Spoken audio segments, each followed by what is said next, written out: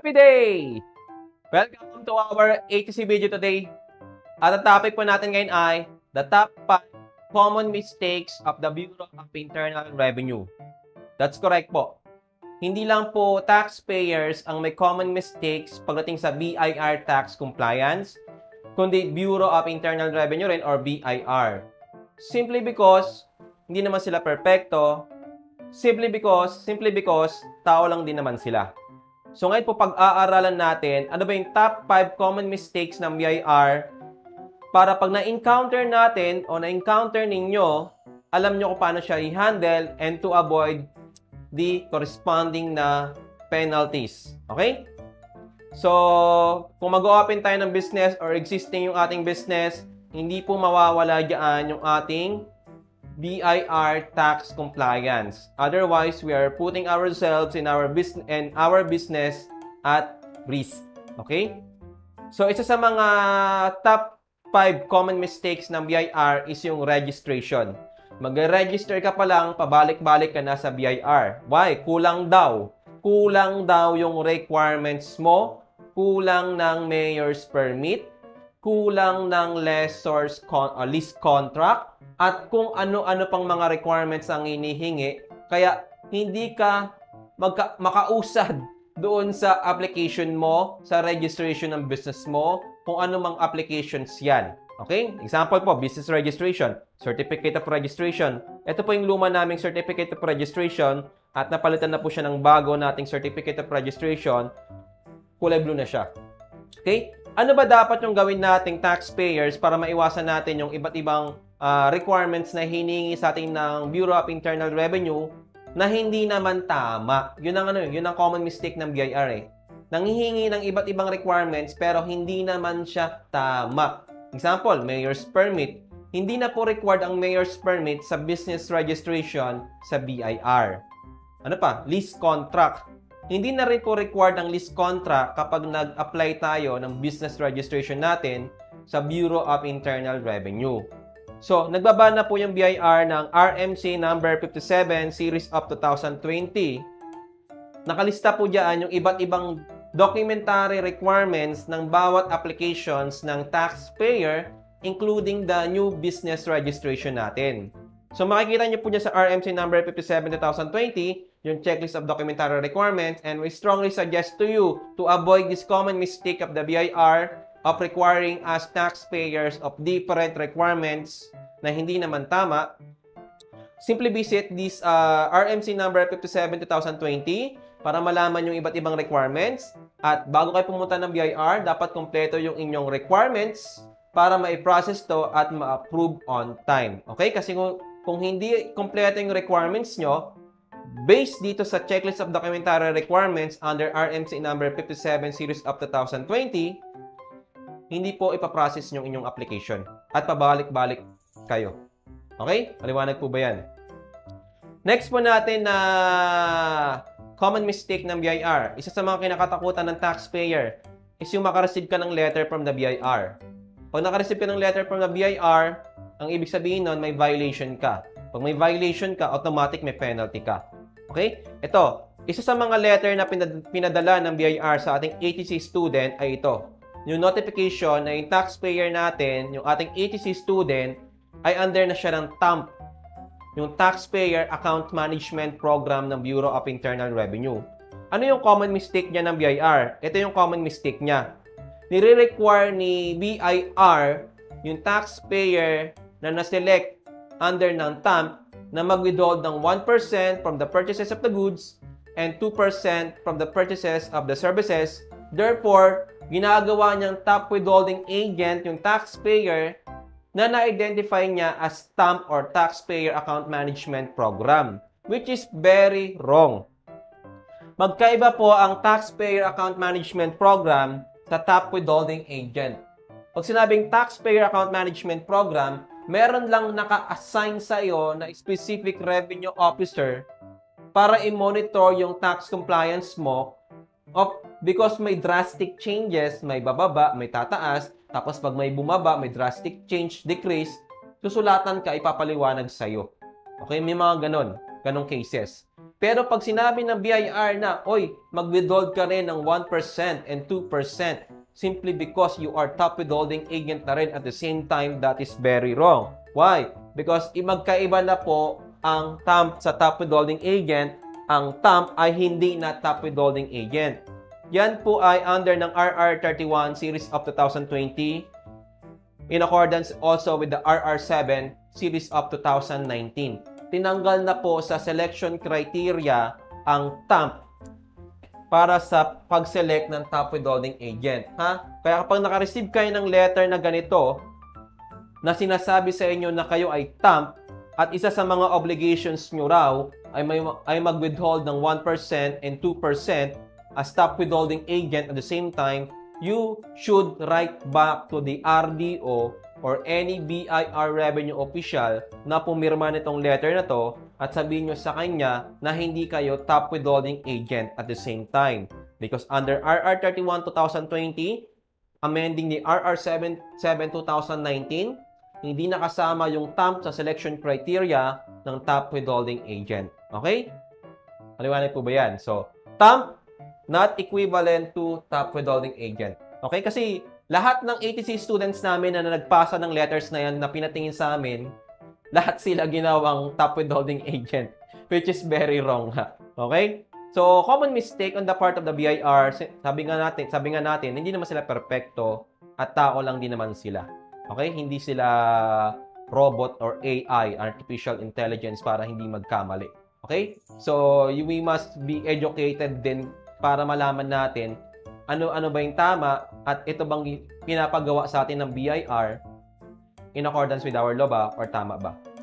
Okay? Next, books of accounts, yung walang kamatayang books of accounts na nire-require yung taxpayer na mag-register o mag-renew ng kanilang manual, ha? Manual books of accounts every year. That is wrong. Okay? Ang manual books of accounts mo ay hindi nire-register or hindi nire-renew or hindi pinapa-re-stamp every end of the year. Mali po yan. So ako po, sumulat po ako sa BIR National Office at meron tayong reply sa kanila. At sinabi naman po dito, malinaw na hindi nire-register, hindi nire-renew, hindi nire-re-stamp ang manual books of accounts every end of the year. Yan ay required ka lang i-renew o i-register ulit kapag ubus na yung pahina any time of the year. Not every end of the year lang. Any time of the year, naubos na yung pahina, katulad sa amin, general ledger namin, ubos na yung pahina, updated yung books, books namin, naubos din yung pahina nun. So, that's the time na you must go to your RDO in order to register your new set of manual books of accounts. In this case, general ledger lang kung ano lang naubos. Gagamit lang kayo ng BIR Form 1905 para mag-register ng panibagong set ng ating books of accounts kung ano lang yung naubos at hindi siya every year. Okay? That's common mistake on the part of the BIR na nire-require yung taxpayer na mag-register ng kanilang manual books of accounts every end of the year. That's very common mistake. Isa pang common mistake ng BIR in relation to manual books of accounts ay itong walang kamatayan na blue book. Itong blue book po na ito, ito ay tinanggal na po ng ating train law effective January 1, 2018. Okay, tinanggal na po yan. Ang tawag diyan ay simplified set of bookkeeping records. Tinanggal na po yan. So hindi na, hindi na dapat kayo nag-register niyan, hindi na dapat inaprubahan niya ng BIR through our Revenue District Office kasi tinanggal na po yan effective January 1, 2018. Hindi na po dapat yan ang ginagamit ninyo. Ang dapat ang ginagamit nyo kung manual, manual books kayo ay ito. Depende kung anong brand yan. Okay, manual books of account tawag dyan. Ito, wala na po yan dapat. Effective January 1, 2018. Okay? Pang-apat natin, another letter na maaari, nating ma-receive sa BIR is yung as letter of authority. At pag natanggap ka ng letter of authority, malamang meron kang assessment. Isa sa mga common mistakes ng BIR ay magbigay ng erroneous or maling assessment sa taxpayer. Katulad dito, assessment sa income tax. Ginawa niyang taxable subject to income tax yung yung uh, gross income from undeclared purchases. Hindi lang nag-declare ng purchases yung taxpayer, gross income na siya, subject to income tax. Mali po yan. Ang income tax, ang income, in order to be subject to income tax, must be Da- dapat merong gain or profit yung taxpayer. Dapat nag-perform ng goods o nag, nag, nag, nag-sale ng goods or nag-perform ng services yung taxpayer. Merong activity. And number three, dapat it must not be exempted from income tax. It must not be exempted from law or any other special law subject to income tax. Dapat hindi siya exempted. So ito, walang legal basis yung sinasabi niyang gross income from undeclared purchases. Ito pang pinakamalupit dyan. Yung undeclared rental expense na hindi naman dineclare ng taxpayer as deduction, ginawa siyang taxable income. Erroneous yun. Mali po yun. Wala pong legal basis yun. Kaya kung wala kayong knowledge sa taxation, talagang tatagain kayo sa assessment na kahit mali-mali, ilalagay doon sa inyong assessment. Ito pa, percentage tax. Sinabject sa percentage tax yung undeclared na sales from undeclared purchases. Pag hindi ka ba nag-declare ng purchases mo sa inyong tax return, ibig sabihin ba doon may sales ka? Di ba wala? Logic yun eh. Pero may mga legal basis yan. Okay? So mali po ito. Isa sa mga common mistakes ng BIR to through the revenue examiner ay magbigay ng erroneous assessment sa taxpayer. Okay? So dapat knowledgeable tayo, dapat educated tayo. Otherwise, bayad lang tayo na bayad. Ito pa, ah, ito yung matindi dito kasi kapag may letter of authority ka, ito ang ginagawa ng ibang re- revenue examiner which is in the case of our ATC student na nangihingi ng lagay or extortion sa taxpayer. So ito po yung message ng ating ATC student on our Facebook Messenger natin, Facebook page Messenger natin. So hindi natin dinisclose yung kanyang name for confidentiality purposes. Basahin nyo na lang po, yan po yung message nila sa atin. So dapat po, knowledgeable tayo, educated tayo. Okay? Last, common mistake ng BIR yung filing of our tax returns. Nakapag-file ka na lahat-lahat, sasabihin sa'yo ng BIR, Oy, may open cases ka, hindi ka nakapag-file. Katulad nitong email, email letter ng BIR sa ating ATC student na sinasabi ng BIR, hindi pa raw siya nakapag-file ng kanilang 2316 ng empleyado at ng Annex F. So kung susunga-sunga tayo, mangmang tayo, wala tayong alam, oo lang tayo ng oo, bayad lang tayo ng bayad ng penalty kahit wala naman tayong dapat bayaran. So dapat ang gagawin nyo dito, pag nakapag-file na kayo, itabi nyo yung filing nyo, i-scan nyo para meron kayong soft copy na reference, may hard copy din. Pag binigyan kayo ng letter, alleging na meron tayong open cases o may, may hindi tayo na i-file na tax returns, meron tayong may papakita. Kasi yung burden of proof na sa atin eh, na nakapag-file tayo. Eh yung BIR, minsan through our RDO, pinapadala tayo ng letter kung ano-ano, sinasabi na hindi naman hindi, raw tayo nakapag-file. Pero kay, ta, pero nakapag-file naman tayo. Katulad sa amin dati, pinadala kami ng letter na may open case daw kami 1601C. Pero chinek namin sa records namin nakapag-file kami. Ang filing namin kasi doon ay nag-fall on holiday. Siguro sira yung system ng BIR tuwing holiday or hindi natanggap ng BIR on holiday kasi wala silang pasok. Kaya lumabas sa system nila da, sa, sa, sa system nila na open case daw. So, ang ginawa namin, write back lang. Susulat ka lang, sabihin mo lang sa RDO o kung sino mga revenue official yung sumulat sa'yo, na nakapag-file ka naman at ito yung proof ng filing natin. Okay? Ganun lang. So, importante po yun na itabi natin yung mga tax returns records natin, proof of filing natin, including the proof of payment, just in case in the future, bigyan tayo ng letter na nagsasabi na hindi tayo nakapag-file. Okay? So, kung hindi po natin alam tong mga common mistakes ng BIR, oo lang tayo ng oo.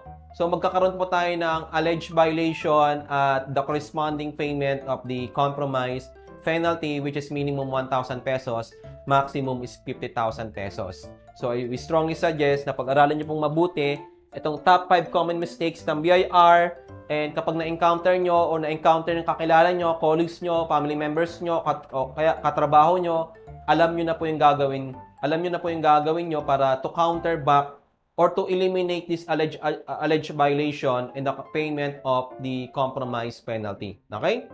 Maraming maraming salamat po sa inyo lahat. Kung meron pa kayong alam na ibang BIR common mistakes, please comment below para ma-feature natin siya sa next nating HC video. Okay? Problem solved po. Maraming maraming salamat po sa inyo lahat. Sana po ay marami kayo natutunan sa ating topic na Top 5 Common Mistakes of the Bureau of Internal Revenue. Okay? So number one, sa registration, nangihingi pa ng iba't ibang requirements na hindi naman required. Tignan nyo lang po sa RMC number 57 series of 2020. Yung list of requirements. Next, natamp ka, tapos sinasabi sa'yo, mag-withhold ka ng 1%, 2%, because top withholding agent ka na rin daw at the same time kasi natamp ka. That is wrong. So, tingnan po natin yung RR7 2019 and RR31 2020 na nagsasabi na may bago na tayong selection criteria para sa top withholding agent at hindi kasama doon ang TAMP.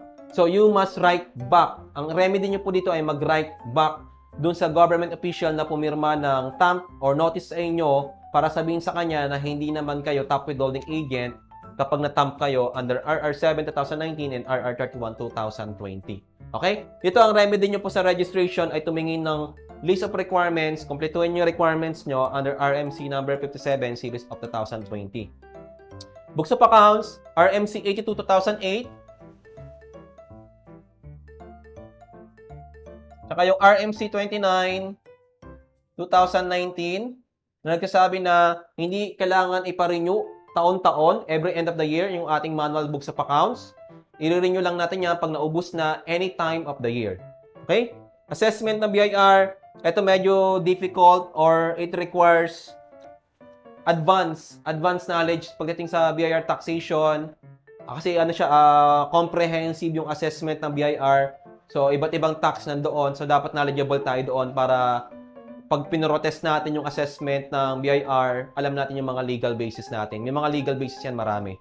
Okay? And the filing of tax return, nakapag-file ka na, sinasabi sa'yo, hindi ka daw nag-file. So, ang remedy mo dito, dito is yung proof of filing natin, yung email confirmation, EFPS, and the proof of payment. Itabi nyo yon As much as possible, i-scan nyo para meron kayo, madali nyo mahanap yung records nyo. I-scan nyo, save nyo sa folder nyo o sa computer nyo, o kaya i-backup nyo online sa Google Drive or sa Dropbox para just in case makorrupt yung computer nyo, meron kayong backup online. Okay? And if you're watching us now on our YouTube channel, Please do not forget to subscribe now, hit the notification bell, at kung nagustuhan yung ating ATC video, paki-like para for future updates, updated po kayo. Paki-share na rin po ito sa mga kakilala nyo na, na nangangamote.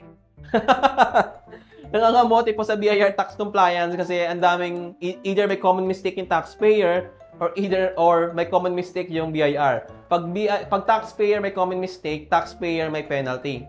Pag BIR may common mistake, taxpayer pa rin may penalty unless knowledgeable ka, maka-counter mo back yung allegation sa iyo ng violations mo. Okay? nangangamote na taxpayer. So sa mga taxpayers po na nangangamote or willing to learn more how to file in failure on tax return, how to record your business transactions in your books of accounts, tax audit, meron din po kami. At may upcoming tayo ng RWB Book Tax Mapping. We would like to invite you to our online education. Makakapag-aaral na po tayo anytime, anywhere visit our website, ATC Bebe. May bago na po tayong website, atcbebe.com. Pwede, pwede, po, pwede pa yung umorder sa amin ng RWB Books. We have RWB Books hard copy, hard, uh, hard copy ng RWB Books na meron pong exclusive ATC videos to explain and discuss the contents of your RWB book step by step kung paano mag-file ng inyong tax return, mag-record ng transactions in your books of accounts, tax audit, at kung ano-ano pa. So, sa mga ATC students namin na RWB Book Honor, existing RWB Book Honors, click nyo lang po ito sa homepage RWB Book Honor. Piliin nyo lang po yung inyong RWB book and click nyo po yung watch button, enter nyo yung RWB book number nyo, You can now watch and learn your exclusive ATC videos by accessing it on our website, atcbebe.com. Sa mga willing to learn more, we have RWB Books. Click nyo lang po yung RWB Books store natin. Makikita nyo po yung iba't iba nating RWB Books na pwede nyo pag-aralan. At nandun na, nandun na rin po yung details. You can now order our RWB Books on our website. Okay? Yay! If you have further questions po regarding our topic today, please comment below and we will answer that sa next nating HC video. Ma-picture natin siya sa top 10 uh, YouTube question and answer about tax.